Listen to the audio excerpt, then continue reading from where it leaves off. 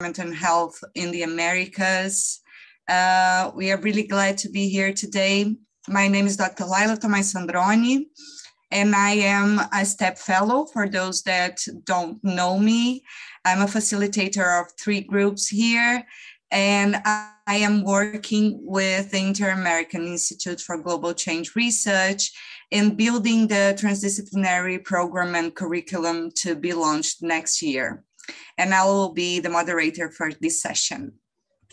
So uh, at this point, I know that everyone is already uh, experts in the logistics of the course, but it's never uh, uh, too much to, to repeat that interpretation is available and you can just click in the button for interpretation in the bottom of your screen.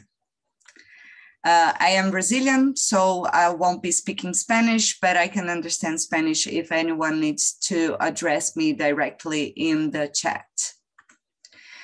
Uh, so uh, before we start, I just wanted to uh, remind everyone that you, all the groups should have received an email with the instructions for uh, developing the full uh, first draft of the conceptual note. So you will, you should have this draft ready of the concept note with the first part that was already delivered in the check-in week number one and complete with the, the other points remaining from uh, the methodology onwards. Uh, so you can fill out the items as you as you can and you can use the concept note guidelines that were sent uh, by in the email again uh, to um, help you to address those other issues. Uh, it should be ready by Tuesday, October 25th, when we will have our the beginning of our second check-in week. If you have not already done so, uh, please inform your facilitators whether your team is adding new members or merging with another team so we can keep updated the, the full participant list and the teams that will be delivering the conceptual note in the end of the course. Uh, so information about the format of next week's check-in check sessions will be provided soon. Uh, you always receive the email of what is happening uh, on the next week, and this will happen also for next week. And please note that on October 25, the session will be followed by an optional 30 minutes presentation on biodiversity and food systems. So next week on the first uh, check-in session, we'll have our normal check-in session, and then we'll have an extra 30 minutes. Uh, this is not mandatory. This is not part of the time of the course, but this will be an opportunity to get to know some specific funders that work with PAHO, uh, specifically on the connections between biodiversity and food systems. Real, we realize that this uh, specific matter might be a little bit too niched for some groups.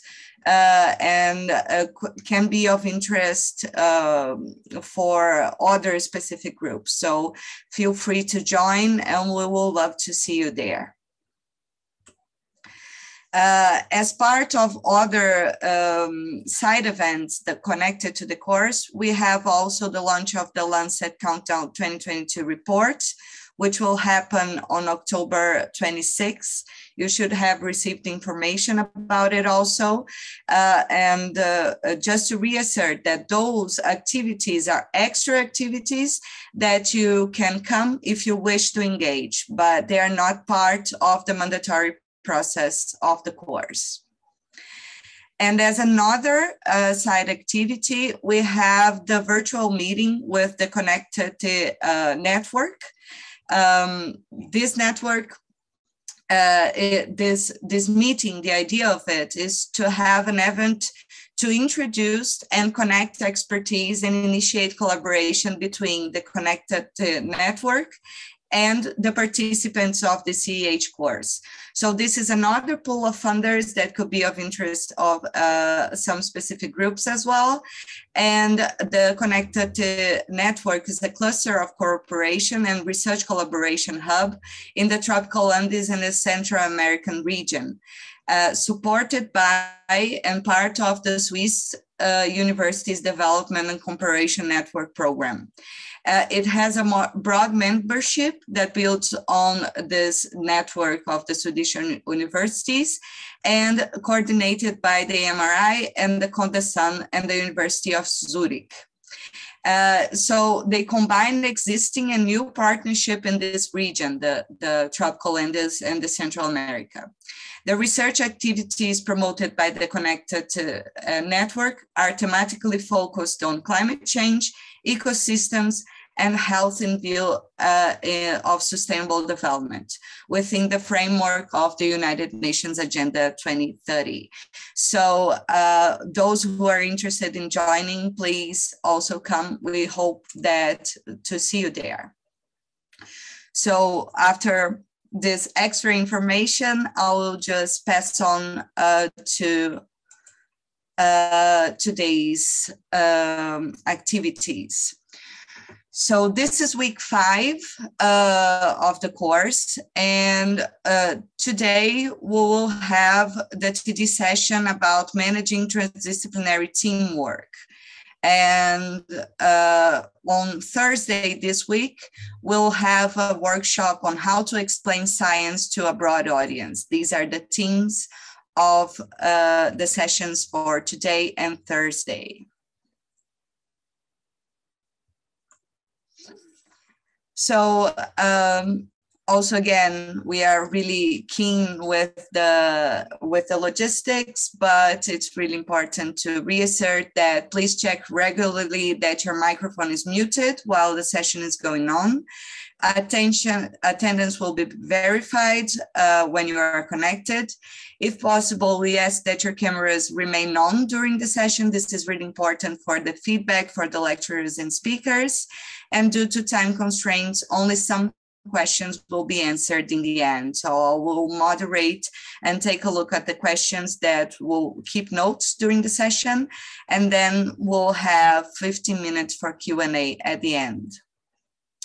So the structure will uh, will have will have as usual 90 minutes.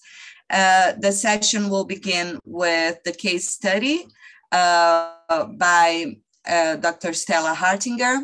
She is a, a, Peruvian epidemiologist with a master's degree in environmental health uh, from the Cayetano Heredia University in Lima and a PhD degree in epidemiology from Swiss Tropical and Public Health Institute from the University of Basel. She is the director of the Centro Latinoamericano de Excelencia en Cambio Climático y Salud and leads the Lancet Countdown on Health and Climate Change in South America. So she will begin our session today, and then I will uh, pass the floor on to our transdisciplinary team to address other perspectives on the building of transdisciplinary collaborations. So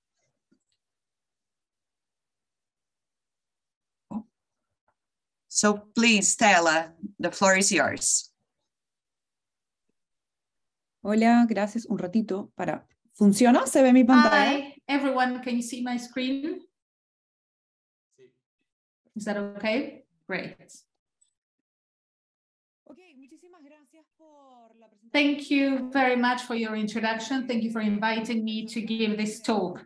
This is very interesting and has helped me reflect a lot on the work we do in global and regional Lancet countdown versions. Now I would like to tell you about uh, this experience from my perspective, from the global data.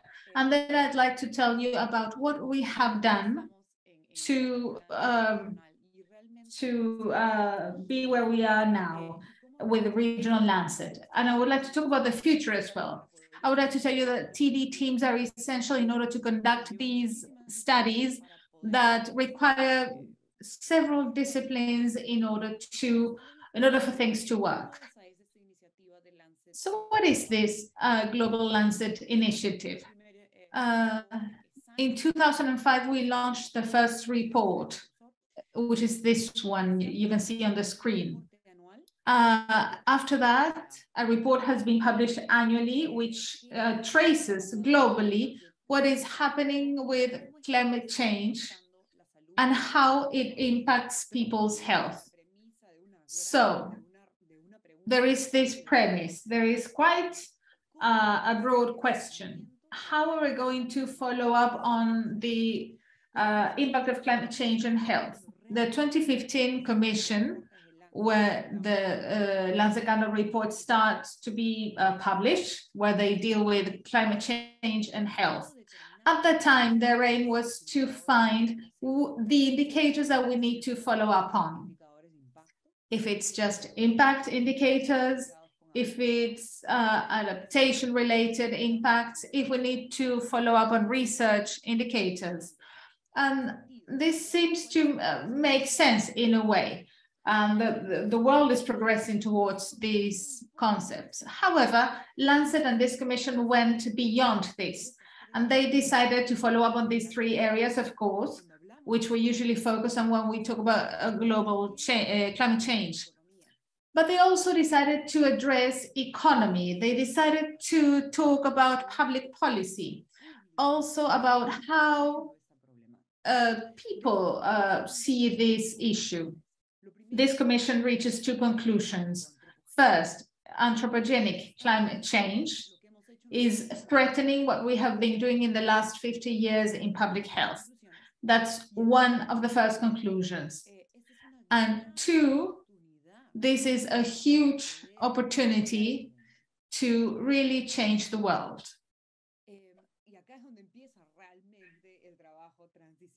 And this is where TD work begins. Right now, in the 2021 edition, uh, that, that's information I can address 2021 because the 2022 report is to be launched next week um, so last year's report. This includes uh, the collaboration of 43 Lancet Countdown partners and UN uh, associations and over 120 researchers. These include uh, geographers, climate experts, mathematicians, physicists, experts in transport and energy, epidemiologists like myself, engineers, social scientists, accountants, and health professionals, many nurses and physicians. Therefore, this is quite a, a, a, wide range of people that are trying to address this issue, this idea, how climate change impacts health. To capture this, as I was saying, we have divided ourselves into five working groups. Have a look at this slide. Here we have climate change impacts, exposures and vulnerability, that's one. Two, adaptation, planning and resilience for health three mitigation actions and health co-benefits for economics and finance, and five, the connection between public and political engagement, according to the current situation. We follow up on 44 indicators in five in these five areas. At the core of these areas, we have the health impacts of climate change, but as you can see, the surrounding factor is economic and political context. Many times these two elements drive the changes. So we need people that can actually understand this fully, that the impact that we will determine, you know, scientific evidence, needs to be translated into a language that everyone can understand and speak. Unfortunately, and I'm being critical in this case, unfortunately, the people at the core of decision making only focus on economic issues. As we see this, and we need to find people that uh, can help us talk about science so that people understand, this means that this initiative becomes more valuable and can become what it is now in the 2005 report, we begin to, to identify several aspects. First of all, the direct and indirect effects that we can identify within climate change. These indirect impacts, for instance, have to do with droughts, heat waves, uh, droughts, etc. That was 2005. Indirect effects, we will have problems with water quality, air contamination, uh, change in land use, and ecological change. Finally, we have social dynamics. And the we need to see how people will be affected by these indirect and direct impacts. For instance, age and gender, health, uh, economic status of each country and uh, people as well, social capital, uh, public health infrastructure, which is essential, especially in South America. And finally, uh, conflict and mobility. This is the most important aspect, aspect under migration, and we're still trying to fully understand it. Even seven years later, we're trying to really uh, find a, a good indicator. And what do we focus on regarding impact? Uh, health disorders, you know, mental health hasn't quite been fully addressed yet. Also malnutrition, allergies, cardiovascular disease, infectious diseases, uh, respiratory diseases. Many of these impacts on health have already become the indicators that, that I will now show you. But the good thing is that I will show you how we put them together. And this TD work can clearly be seen. So let's have a Zoom poll. Uh, Haley, can you set it up? Thank you. So the question is, which are the benefits? How does a TD approach benefit Lancet Countdown?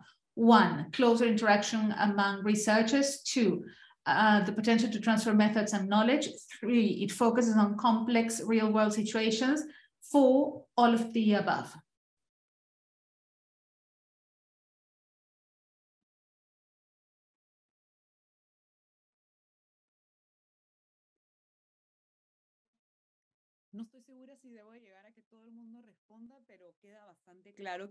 Okay, maybe I should wait um, to get the answers, but I'm sure that most of you have answered all of the above. Uh, it's strange that no one has chosen number one. Well, of course, one is including number four. So yes, of course, we'll have closer interaction among researchers, the potential to transfer methods and knowledge. We'll address this just now. And also it focuses on real world complex situations. I think uh, global uh, climate change is the most serious situation we need to address as a society right now. Now let's go to the next part. What happens when Lancet Countdown decided to open regional centers. And what we have found is that first in Cayetano, I was one of the authors. We were the only ones who took part in the global center. So we lost sight of the region that we were participating in because large countries England, China, they really uh, represent the large part of emissions of the problem, but that doesn't mean that our countries in South America are not going to be affected by those numbers. So, and we also started realizing that in South America, we didn't have the evidence that is available anywhere else in the world, especially in the north, about the impact of climate change. So the Lancet Countdown decided to open the this chapter. And we are the regional center that has the mandate of promoting and supporting research on the, in the region about the impact of climate change on health. However, when we started creating and coordinating this collaboration, we realized that we needed to follow three large concepts that, that we set them as objectives. Uh, we had to create, first, create global and uh, local capacities and to coordinate academic um, capacities within a region, we had to promote development and communication. According to a paper uh, from Lawrence 21, uh, those are exactly the three phases that a, a transdisciplinary research has, having the ability to create a team to be able to solve a problem. In our case, it was climate change. Um, that is different and is going to have a different impact in South America. Uh, we also are going to need to co-create the solution and focus that transdisciplinary knowledge of the different authors in indicators that are consistent for the region. And we're going to need to share our information. So our three objectives work here. But we needed to start with a why. Why is South America different? Why is it different? And I'm going to go over this quickly. But why is South America different? First, we are the region that has 90% uh, of, of um, tropical forest. We have the region that has the highest carbon uh, reservation reserves in the Amazon. We have indigenous populations.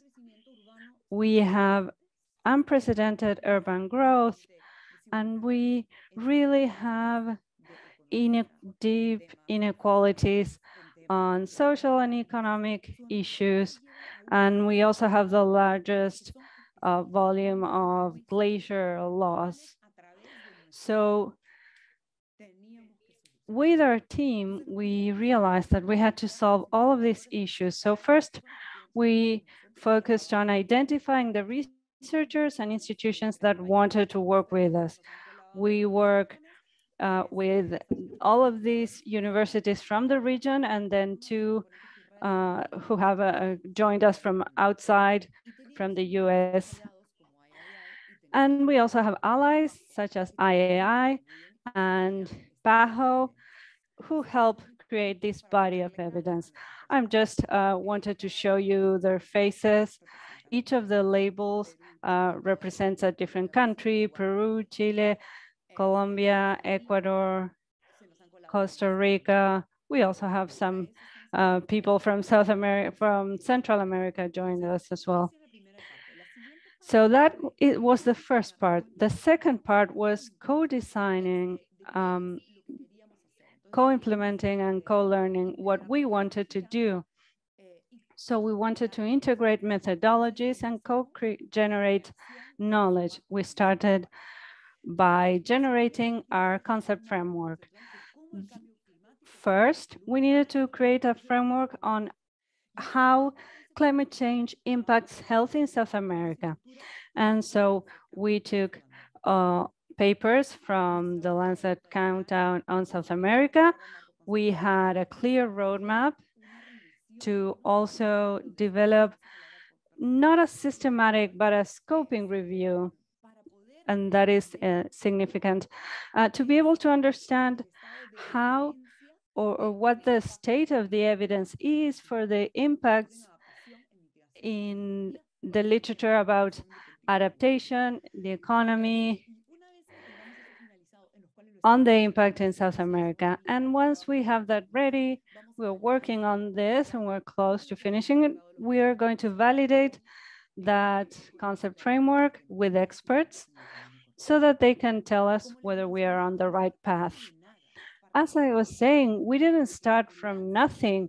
We started with what the global Lancet Countdown had done in the previous years. And we realized that, of course, we share the direct impact with the rest of the world, that the temperature is going to increase, that there's going to be significant cha uh, changes in seasons, that there are going to be extreme events, droughts, heat waves, fires, and we also share some other things. However, uh, they're not included in those that I mentioned are the specificities of this region.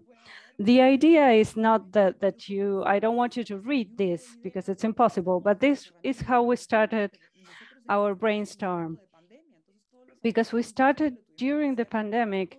So all of this analysis, all of this um, uh, development of our framework, we did it via Zoom. And so the idea was how to connect all of those impacts that are in the middle part, the adaptive strategies that are working or not, and the mitigation strategies. So I'm going to uh, stop here because this is something that is going to be published very soon. And now I want to tell you about not what we already did, but what, how we were able to integrate different methodologies to create the indicators that are relevant for us. I'm going to use the examples from the 2021 indicators. I'm going to use examples on how the impacts on health, on health feed the economic and adaptation indicators. So let's start with the first. The first one we have is exposure to heat waves of vulnerable people. So starting here, we already have two very different research lines. We have, we need to define what is a heat wave and we need to define what is vulnerability to heat waves. So, and not, not just that, the way in which uh, we define vulnerability uh, requires understanding how heat is working in cities to in the urban areas to have an impact on health. So we need to work with doctors that tell us about the stress generated by heat strokes in people with cardiovascular diseases or kidney injuries can have a very strong impact and even cause death. So we need to integrate all of that.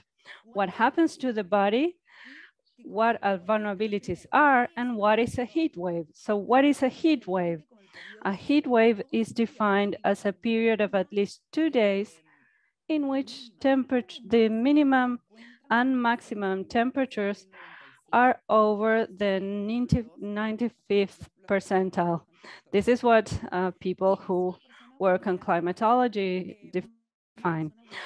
What is a vulnerable person for us for this indicator is someone who is over 65 years old, who has uh, cardiovascular disease, diabetes, chronic respiratory diseases, and who lives in an urban area because heat strokes are a lot more uh, frequent or, or strong in urban areas other than in rural areas where we can have other strategies.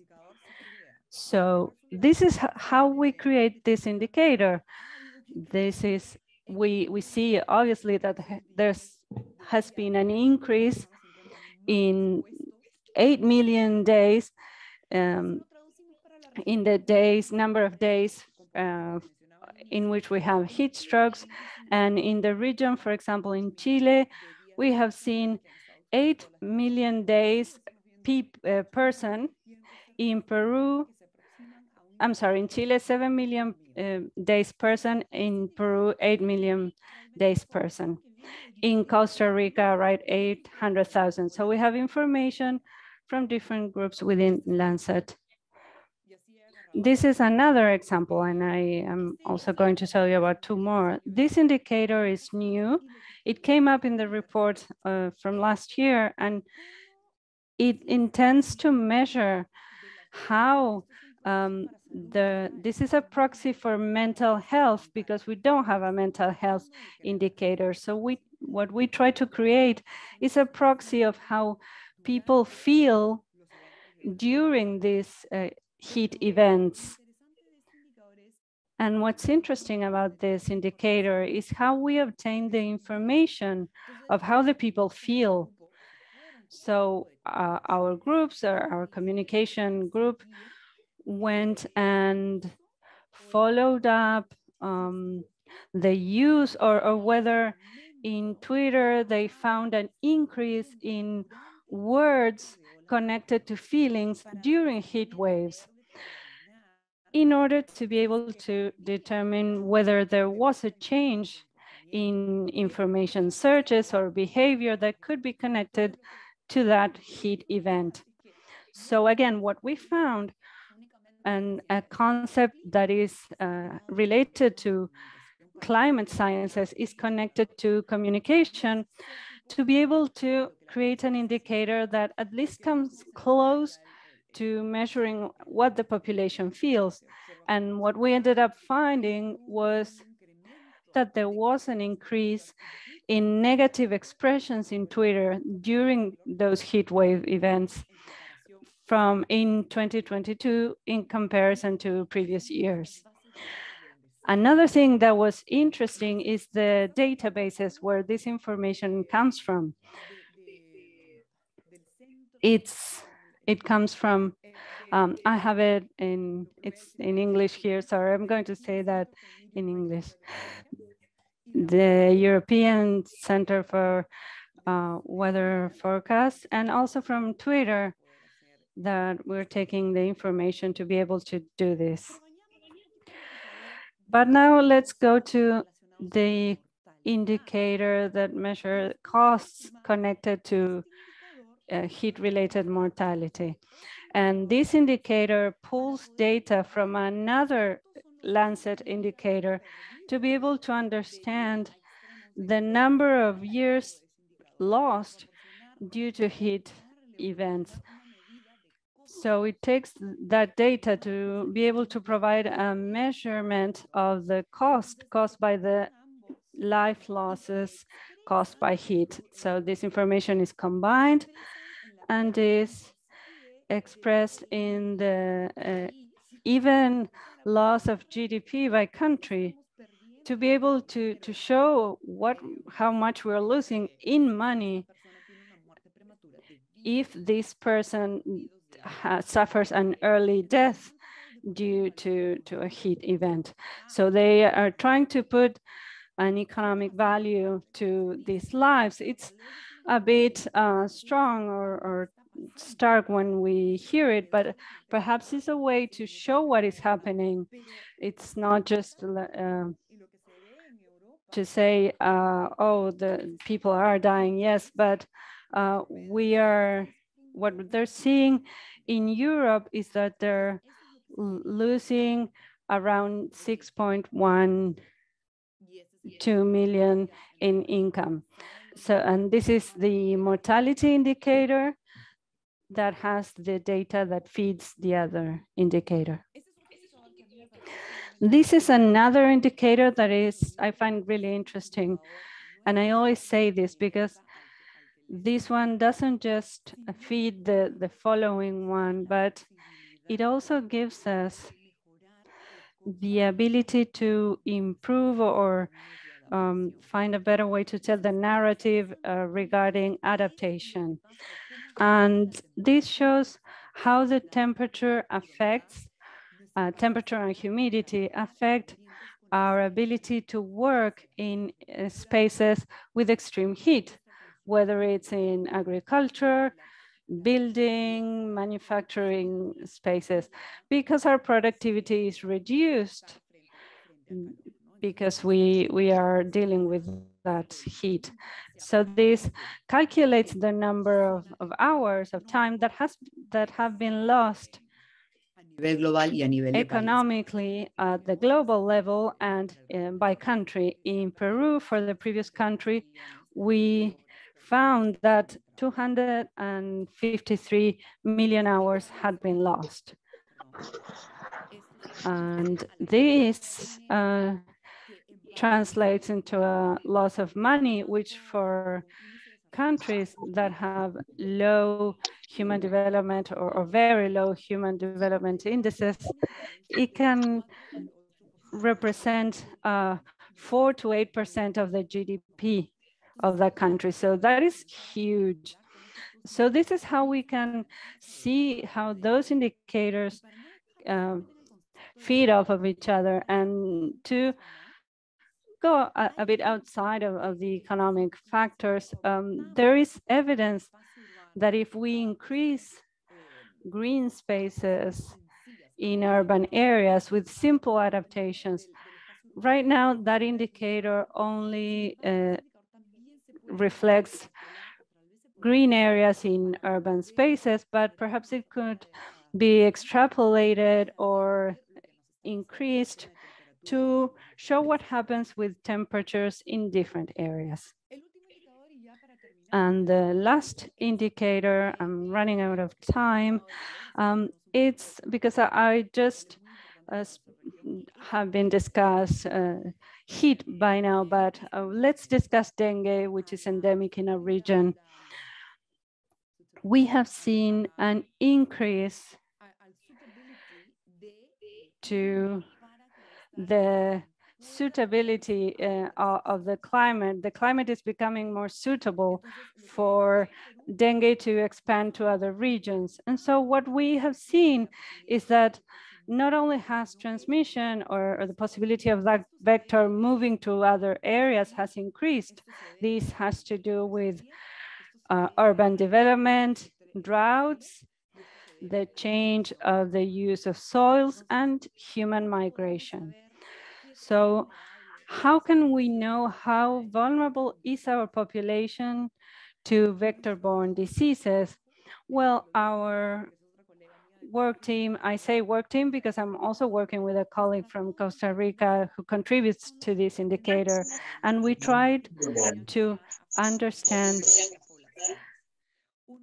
how this is affecting our populations. One is uh, urban development, how uh, urban is one area, and then access to different services. And again, what we have found as results is that the most vulnerable people are the ones, uh, the countries that have the, the lower human development indices and then the, the, the ones that follow. And because I only have two minutes, let's discuss the last component. How do we translate all of what we do to a communication area to disseminate the results? This is from the last year, and we do three things. First, we have uh, events. Uh, the next one that we have was kindly discussed. The next week one is the global one, then there's the European one, then there's the one from China, and then we have the one from South America in January. So I will be sending you information on that. Then we do policy briefs. And the reason we do that is because we it was not possible to have information by country. And so now uh, the countries can select the indicators with information from their country to relate that to policymakers to tell the story of climate change and to help guide policies with evidence. And another one, that's another one of the components este, mencionado. Entonces, Finally, we launched the reports we have already mentioned. So this is the end of my presentation. Thank you very much for your attention. Thank you so much, Stella. This was a really comprehensive and interesting presentation. Uh, I believe that we are all going to be there at the Lancet Countdown report uh, next week um, it was also really interesting to see how um, the process of adapting uh, global tools to specific regional environments in the context of this specific course uh, that we are trying to build cap uh, capacity on responding to climate change and public health issues in the Americas is really interesting for our audience here. So thank you so much uh, for being here and also for uh, making a huge effort to uh, keep to the time. I know that you had a lot more to say. So uh, without further ado, I would uh, pass the floor to our transdisciplinary team who will talk about uh, how to further engage with transdisciplinary collaborations and how to build spaces where those collaborations could thrive. Um, uh, you all know already our uh, transdisciplinary lecturers, but today we will be uh, we'll have the the fortune to listen to Dr. Lily House Peters from the University, the State University of California, and Dr. Gabriela Alonso from the University of Calgary, Canada. And uh, they will also introduce a recorded video by Martin Garcia Cartagena, who is the in, in, the University of Massey in New Zealand, and due to the time difference, uh, couldn't be with us live today. Thank you so much, Lily. The floor is yours. Okay. Um, good morning, everyone, and um, thank you so much, Stella, for an incredible presentation. Um, Okay, for the sake of time today, we're going to discuss uh, managing transdisciplinary teamwork and I'm going to skip through the first um, slides with the um, learning objectives. These are available online as well as the focal areas um, just for the sake of time. And we're going to begin, uh, this was kind of content from last time that uh, we didn't have time. So we're going to begin here with thinking about um, theory of change in transdisciplinary uh, research. And this really is key for visioning, planning, communicating, monitoring, evaluating, and learning within teams. And what you see here is a logic model known as a results chain, um, or sometimes thought of as a theory of change. And this is really key as we begin working in transdisciplinary teams um, to have a process of visioning and even as you'll see here, backwards planning from the impact that you want the research to have um, and actually thinking backwards from that. And we're going to walk through um, a couple examples of this, and we can also return um, to thinking about this um, in our final session as well. But as you're thinking about your conceptual notes and the projects, um, it might be helpful to have this kind of a, a logic model um, to help guide your planning and your, your thought process throughout. So this is also essential for monitoring and evaluation of project outcomes, which is going to be a focus of next session. Um, so that's another important part of this. And in interdisciplinary and transdisciplinary teams, it's really important to have uh, strategic tools that help with long-term planning, such as a tool like this. So um, here we're looking at um, this chain of results from inputs at the very beginning through activities to outputs to outcomes to the actual you know real world impact because so much transdisciplinary research um, is not looking only to create new scientific knowledge, which of course is very important, but also ways to translate that scientific knowledge into transformative change or some kind of a positive impact um, on the ground. So really important for that um, applied, applied work. And so we're going to do here, this is a, an example here with a mangrove um, forest where you can think about a conceptual model um, where the end goal, right, the impact, so looking at the green circle in the end, is overall to improve mangrove habitat. And so that's a goal that, you know, between scientists, researchers, stakeholders on the ground, policymakers has been decided in this, in this simple example. And by having that in mind, the improved mangrove habitat as the outcome, it then makes it possible, and uh, this is a very simple um, example, to think about the steps that would be necessary um, for planning the project. So in this case, um, in order to get to this impact, a desired result would be reducing harvesting of mangrove wood, mangrove trees. Um, in order to reduce that harvest, thinking back, um, reducing demand for the mangrove wood itself.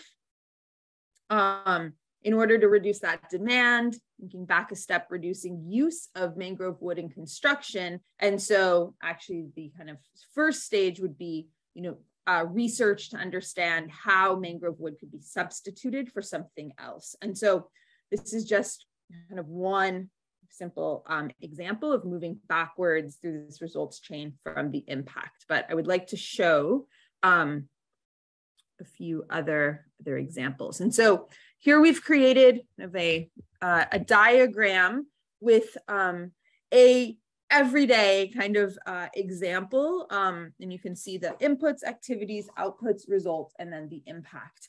And here the example is, you know, wanting to live a healthier life. And so example here says, I want to do something about living a healthier life. So that becomes the desired impact, which you see on the far side. Um, in order to do that, the outcome would be to reduce weight or lose weight. Um, and to get to that, the outputs would be eating more vegetables, doing more exercise. Going back a step, the activities would be dieting or going to the gym, and then thinking about inputs, time, money, planning. And so obviously this isn't a research example, but is meant to kind of give a very simple um, daily example of how of how this kind of a logic model or results chain uh, could be thought about. And so the next example is a little more um, kind of complex because actually is an example from a research project that myself, Gabriela, and Martine um, took part in for three years and Gabrielle will speak a little bit more about our project. Um, and this was actually, we've broken it up here across two slides, but an example of how we utilized a results chain in our in our project planning and visioning. Um, and this was a transdisciplinary project that included um, academic scientists, non-academic scientists and policymakers, um, and, and people who worked at NGOs, in order to uh, think about improved our kind of goal at the very end, the impact that we wanted was to improve biodiversity conservation implementation at the local scale um, in our case study communities. And so we were trying to work backward, backwards from that gap. And in this project, um, which was called Incorporating Local and Traditional Knowledge Systems, New Insights for Ecosystem Services and Transdisciplinary Collaborations, our central research question was which governance modes or modalities are best suited to navigate the divergent interests, incorporate local and traditional knowledge, and achieve local scale biodiversity conservation.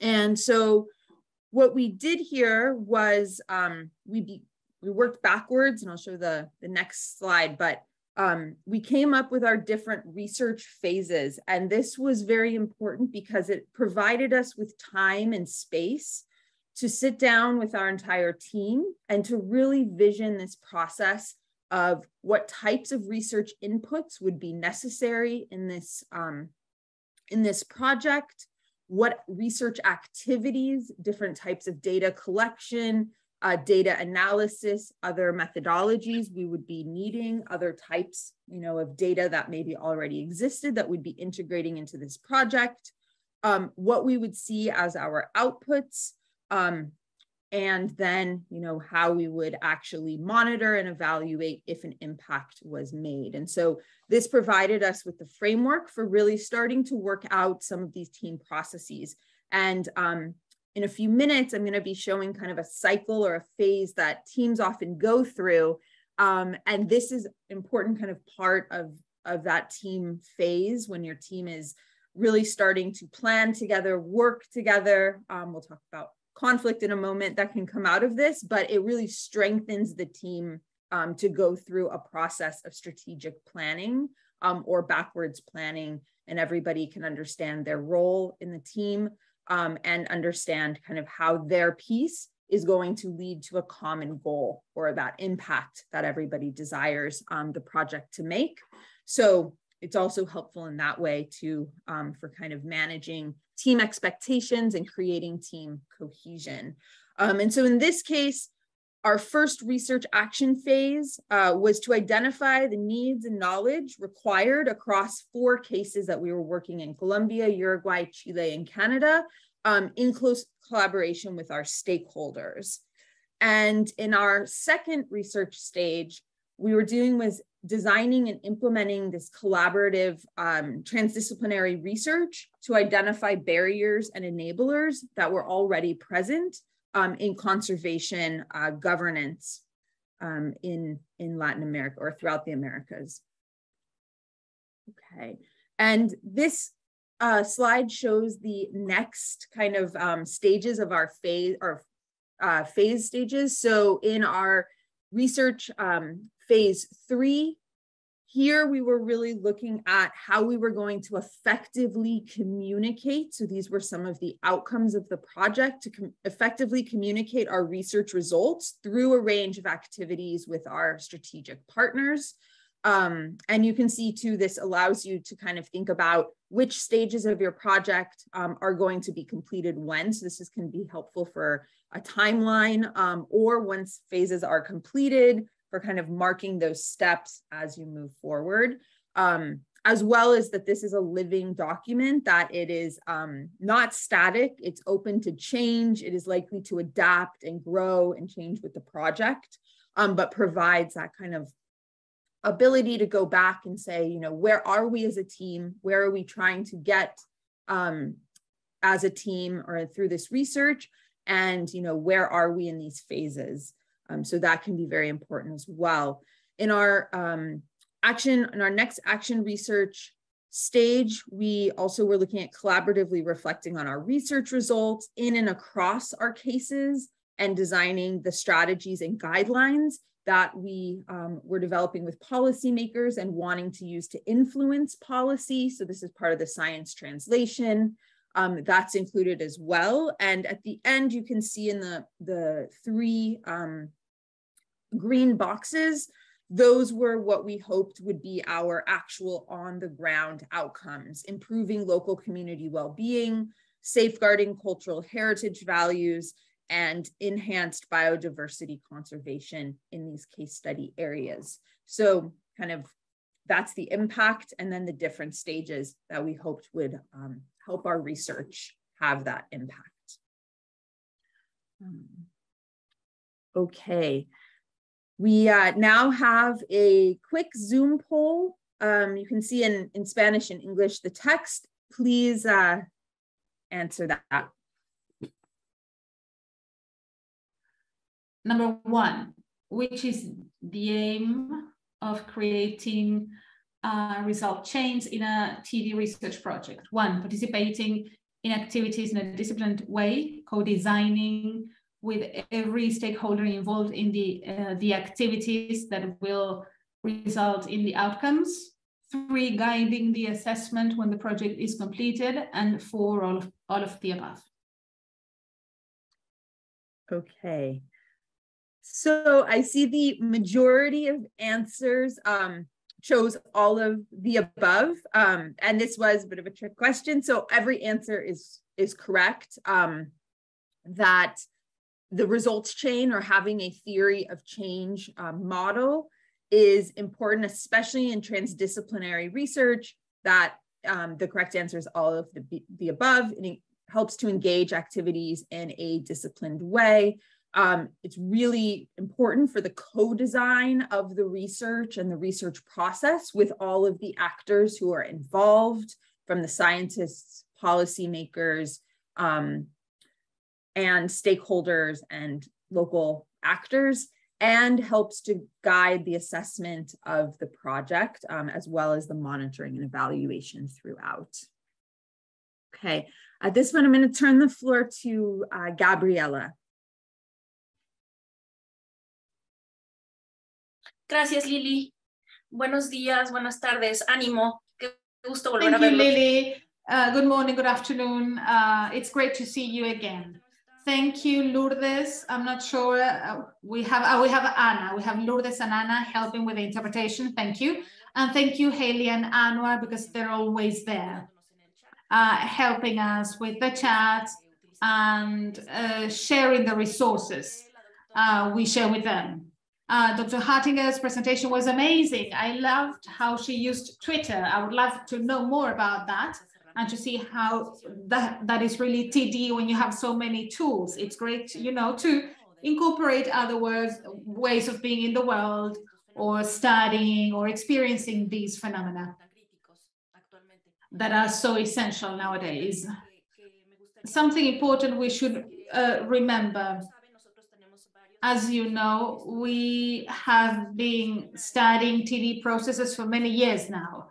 So we consider that it's interesting to tell you about some outcomes free uh, uh, outcomes uh, in 2014 when we studied teams uh, working, doing uh, inter and transdisciplinary work in the Americas. This is very important because uh, I think this distinguishes these logical framework processes, uh, these research organization processes in general, when we work with TD teams. I think that everyone here has experience in project development, in writing uh, applications for funding. But we need to remember that regardless of the outcomes, we need to focus on the process, on the on the process uh, that uh, incorporates different types of knowledge. So I would like to tell you that a few years ago, we worked on a research project that included these teams. One of the, our main questions was, which attributes or characteristics of the team members and of teams lead to uh, research outcomes that can, you know, create this bridge between knowledge and action. And when we say knowledge action, we mean a, a, a, a more tangible impact on, on, the, on these locations. We studied 22 IED and TD projects. Uh, these were active teams, or, or maybe they had completed their project. And there was a wide range of uh, durations and funding. We had the uh, small grants programs. We also had uh, mid and long-term projects. These projects included uh, people that were in different parts of the world. They had ongoing funding, uh, something somewhere between three and five years. And they had a, a high variety of members. When I say that, I mean that these were people working um, in the field, researchers, students, graduate students, uh, stakeholder, government stakeholders, NGOs, etc. So there was a wide range of participants and also 17 countries from the Americas. Next, please. So something that we studied a lot in 2014 and was starting to be studied in 2012, but there already was literature about the elements that can be relevant for uh, study members, individual members in that are parts of teams and also teams. In TD research, we mean uh, groups of over 10 people. So we designed a framework to study on the individual, collective, uh, on these different levels. We looked at the cognitive dimension, the cognitive dimension, and the affective dimension at the individual level with some attributes such as mental models. This model, uh, when they say uh, some vocabulary or they agree on conceptual issues, that, that is uh, reaching a shared framework for the problem that we're looking at. So mental models, including learning, incentive, motivations, and also trust-based, affect-based trust. And at the collective level, we looked at teams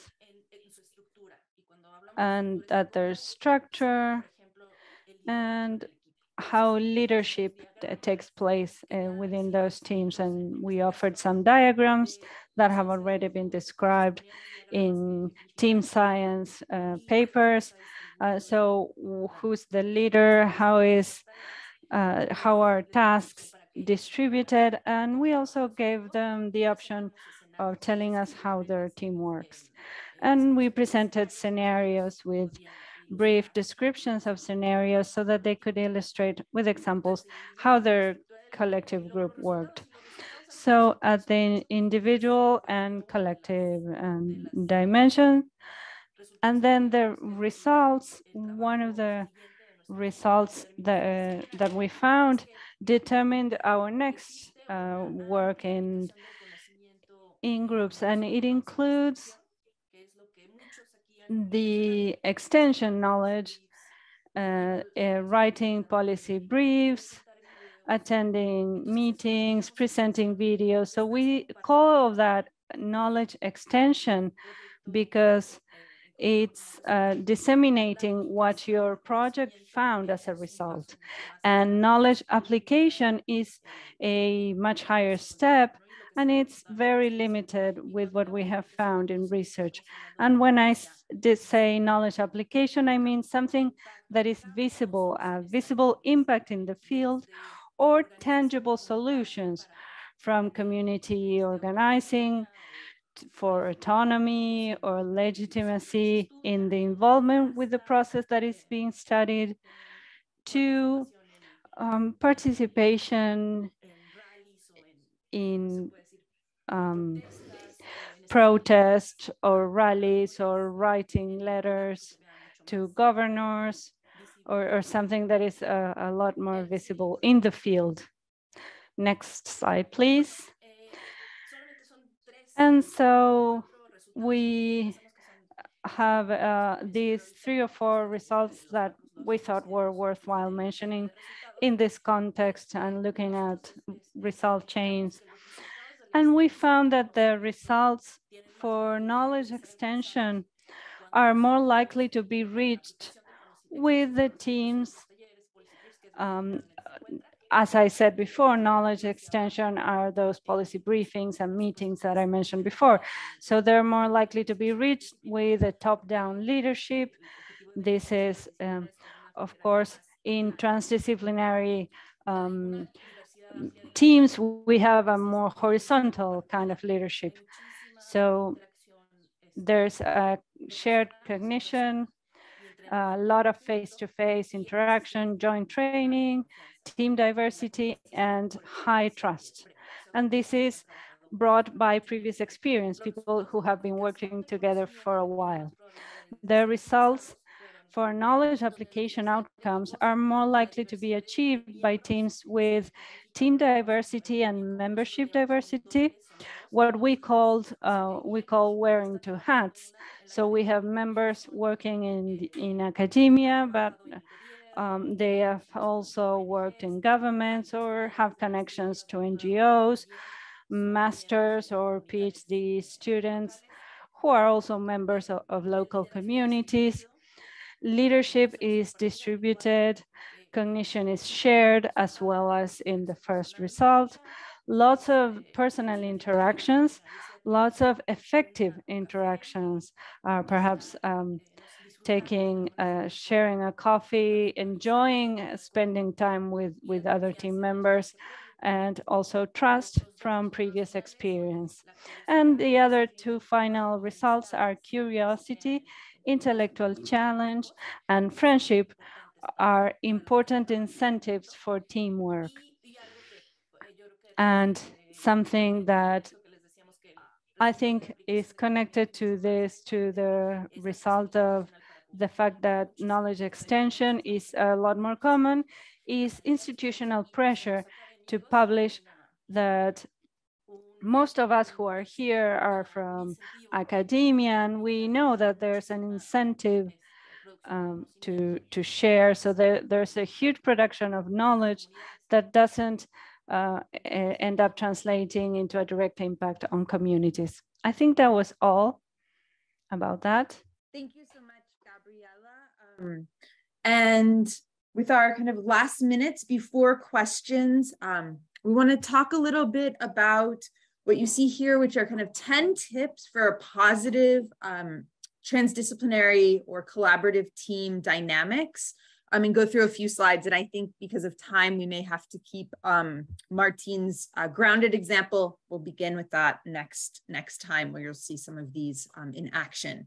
But as Gabriela was just um, speaking about, one of these really important aspects of um, a team that is, um, you know, works well together is establishing trust. Um, so that is a that is key. Um, and so as your teams are forming, or perhaps you already have your teams, but they're going through a process of kind of um, developing a new project or bringing in new members or some kind of form of change, is building and maintaining trust among members. And this is going to be, some of these are very important. In the next slides, we talk about what happens as teams move through conflict um, and for conflict to be productive rather than destructive, having that trust established. And also, as Gabriela showed, teams with strong trust tend to be more successful as well in um, having those impacts, those transdisciplinary impacts on the ground um, and in mobilizing knowledge. Having a shared vision, and this could also uh, go back to thinking about how your team is going to strategically plan the research, but the vision can actually serve as an anchor for your team or something to return to if the team is going through a process of conflict or disagreement, um, or if they're kind of losing um, the focus on the goal, is having this vision can be something that anchors your team. Also, individual self awareness and processes of self or auto reflection and learning are really important. And um, I'll speak a little bit more about that in a moment, but understanding yourself, how you view the world, um, the types of conceptual frameworks that you use in your research, your own epistemologies or ways of understanding the world and knowing the world. Um, this can be really important because as you bring together people in an interdisciplinary setting who utilize different types of research methodologies, different forms of data, um, actually may think that different methodologies or forms of data are more or less reliable there are um, there are going to be conflicts. And so actually kind of understanding your own position can be extremely important for working through um, those disagreements so that's something as well leadership um, so having strong collaborative leadership having leadership that can be also horizontal, not just very, very top down, we found to be quite helpful. Um, mentoring. So thinking about the different stages um, that your team members are at, and that can also be mentoring people who've maybe never done interdisciplinary or transdisciplinary research before, um, or it can be mentoring younger researchers, students, um, non-academic scientists, but really thinking about how you're going to provide kind of training and learning opportunities in the team. Um, thinking about your team dynamics, and I'm going to talk about this kind of multi phase, which includes this storm or the storming um, phase, which is when teams often go through a dynamic of disagreement or growing pains. Um, but thinking about your team dynamic and how to keep a strong positive dynamic in your team or how to get back to a more positive dynamic.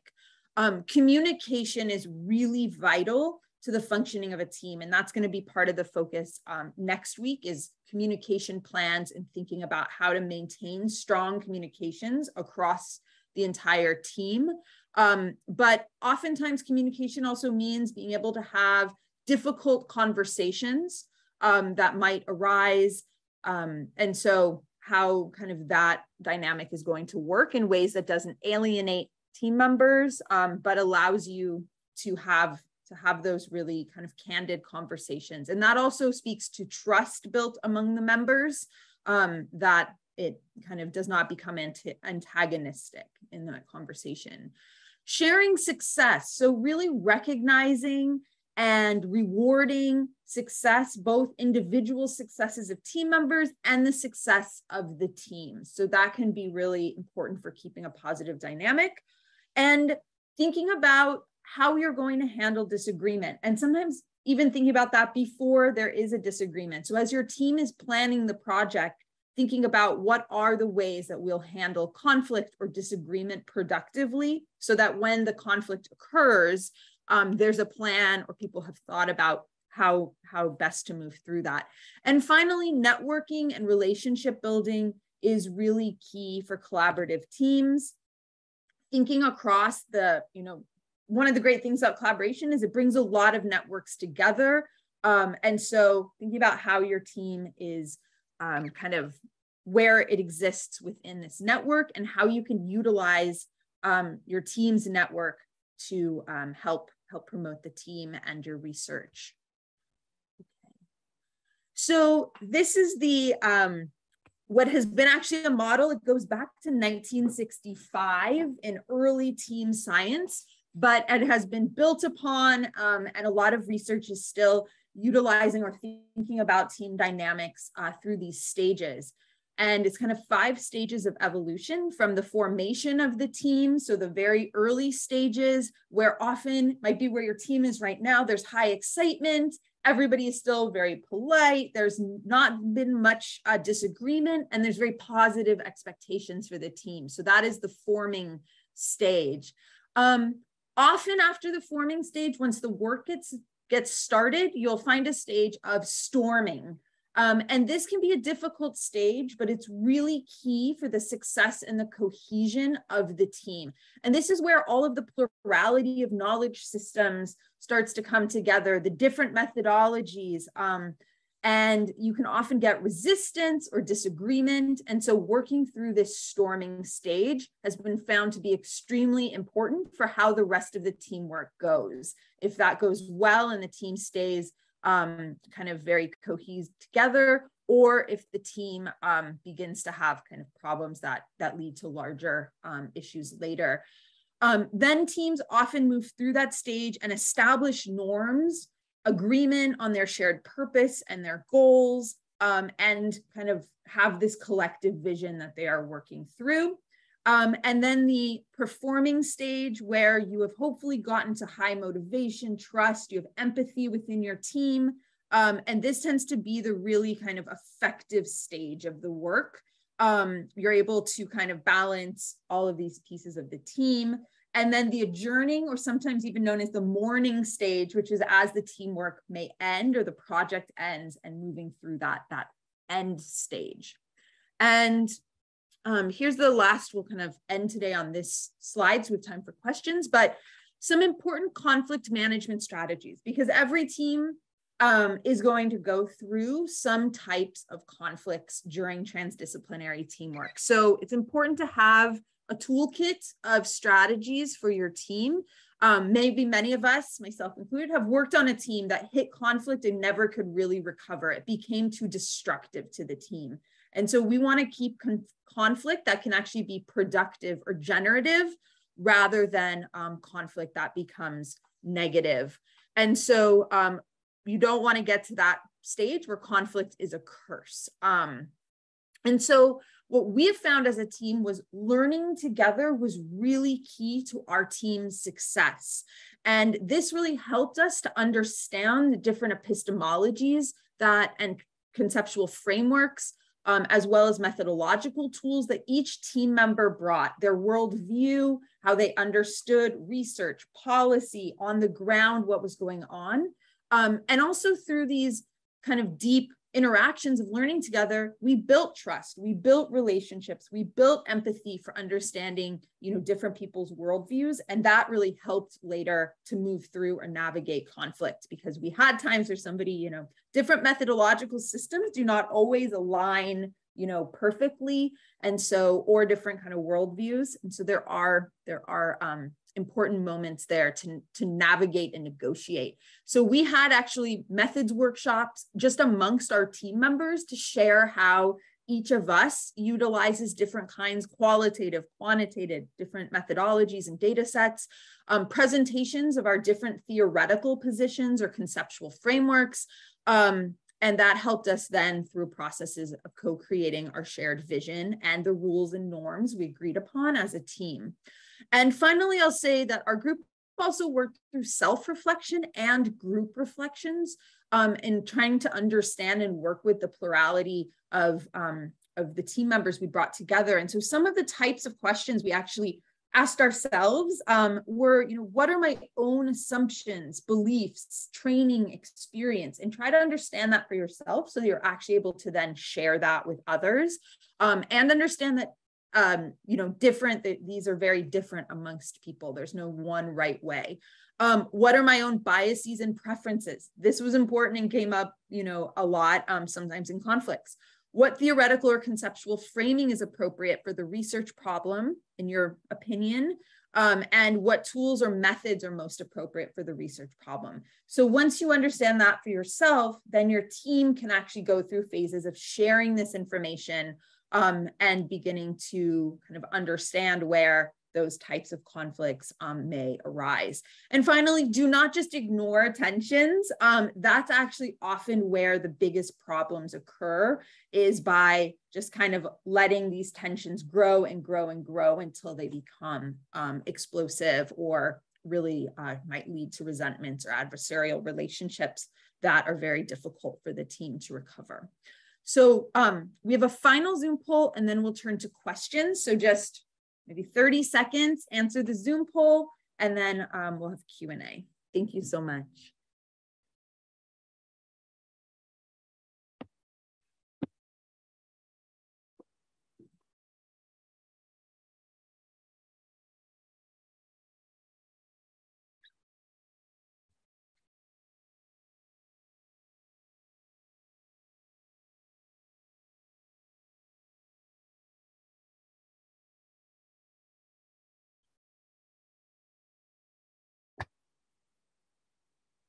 Okay. Um, so this is very interested. We were interesting. Um, seems like most people here have navigated some kind of a conflict or worked with conflict management strategies. And um, I see the most popular is sharing methodologies or conceptual frameworks across disciplines, um, learning together, and then um, self-reflection and trust building exercises. So all of these are correct um, answers, but we're curious to see uh, kind of how how our participants have, have done this. So this, um, Carlos or Lila to turn it over to questions. I'm gonna stop sharing. Thank you so much, Lily, and thank you for the great presentation. I hope that all the audience here could have uh, seize the opportunity to take this really valuable tips of two really well experienced people that have engaged in actual transdisciplinary research projects. Uh, because um, what Lily and Gabby has shared here today are tips that only come from experience. You won't find those tips in a book. not organized and felt in this way. So this is really important. Um, for everybody to uh, seize the opportunity to listen really well to this experience. Uh, so we have 10 minutes for questions. As we said in the beginning, we won't be able to answer all the questions. And I'll try uh, to group the two main questions to the TD team and to Stella. Uh, and then if we have time, we can move on to a second question to each of, uh, of you. So uh, to Stella, there were a number of questions around um, the, the idea of the causes and determinants of the, the of mortality uh, related to heat waves. So, uh, and how do you create indicators that can evaluate this impact uh, in, in people's health? Uh, and to Lily and Gabby, um, there was a question uh, related to the role of the local communities in the decision making and the, the result chains. So how are they, were they incorporated in that sense? So Stella, please, if you could address the first question. Este, creo que la primera tenía que ver con el tema de... I think the first one had to do with how we created the uh, heat wave mortality indicator. Is that right? Okay. I think this question is, is very interesting. It's interesting that you're asking the question because you're asking about the tool's methodology. And as I start to tell you about this, uh, there's a hundred people creating these indicators. And this is not uh, my indicator. My indicator is the clean energy is one. But I can tell you how we apply this methodology. I'm not sure this is relevant, but in any case, uh, we use times uh, time series to analyze, you know, uh, heat, uh, also the exposure response aspects in order to calculate the mortality excess and to maybe analyze those deaths and attribute them to heat. So I'm not sure this is an answer we can all understand, because we don't all work with time series or with uh, exposure response curves. So maybe we don't all understand this mortality excess we detect. So it's very interesting actually that you're asking about the methodology. Uh, Uh, the second part of the question, I was trying to look it up. And the answer is no, we don't analyze specific mortality causes but we do include some mortality causes. For instance, the ones excluded from the indicator are accidents, homicides, and some other mortality issues that are not relevant for us or that are not unrelated to heat.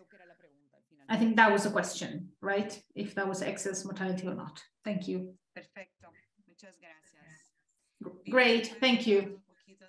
Lily, maybe you can tell us a bit about the role of local communities? Um, so that, that's an excellent question about thinking about how do members of local communities um, take part in the strategic planning or in um, the results chain uh, model. And in one example, in our work in the case study in Colombia, um, our team uh, was on the ground in Colombia and we had on our team a member who was uh, well respected in the community, a leader, an environmental leader in the community, um, who was part of our process kind of from the beginning um, throughout. But we also held meetings in Colombia uh, with local residents and um, interested local actors, and especially to think about what the impact, the desired impact would be that we would be working towards. So that was a really um, important part of having the local community involved was really thinking through that impact because we wanted our research to have not just publish in journals and produce the scientific results, which of course is very important, but we also wanted our research to have a um, an impact on the ground, a change in policy or change in how uh, work was happening to see this improvement. And so we did consult with community members. Um, we had meetings with community members. And then we had somebody from our team who was kind of a trusted, and not to say that one person will represent all of the views of a community, not at all, but we did have um, a member of our team, a non academic member, uh, who was with us throughout the entire process, who was kind of very trusted um, in the community as a representative. So obviously your your team can't function with hundreds of members or a whole community on the team but you can have local um, uh, focus groups community meetings um, to really especially understand what results and impacts the community helps uh, or hopes to have and then that can help you with working kind of backwards and having some of those uh, local representatives or ngos or environmental activists health activists who might be a member of your team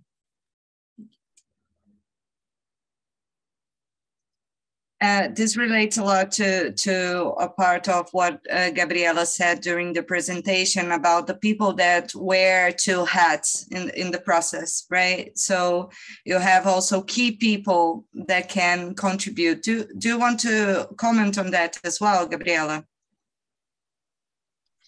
Sí, gracias, Laila. Este, que Yes, como thank you, Laila. As Lily was saying, we organized several activities.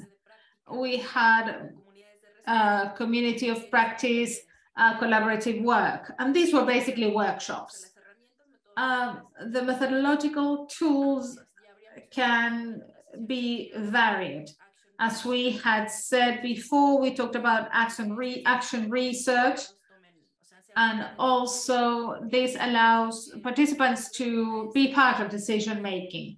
Also, something I've just remembered, the IAI has established the funding established the funding process many many months before and with a, with a lot of TD work as well. We held a number of workshops before writing the proposal. And uh, there we needed the participation of local non-academic participants. And this, in a way, forced us to do something that usually takes a long time because it's not considered in this type of work. And this is also important. You need to find uh, funders that consider that TD work is essential uh, in project de design. Thank you, Stella and, and Laila. this is one of the the objectives of this course here right so that people have the time to reflect uh, to make contacts and to um, recognize the best paths to address the transdisciplinary approach before the actual grant writing and the process of building the project actually uh, starts. So this is part of the, it's really interesting to have a, a small grants program uh, project as a part of uh, the examples here, also due to the fact that it shows this strain of the IAI on, on trying to foster the capacity building onto the transdisciplinary approach, uh, also, and not just the, the implementation of transdisciplinary projects, right? So we are one minute to the hour. So the, the, the remaining questions will also be included in the document um, so we can uh, at some point offer some feedback to the participants on the, the remaining questions. So I'd like to thank you all so much uh, for coming and hope to see you all on Thursday and keep keep tuned to the three uh, extraordinary activities happening this week and the other and uh, to the check-in week next week. If you have any further issues that you'd like to address, please contact your facilitators for the course. Thank you so much. Have a really great rest of your day, everyone.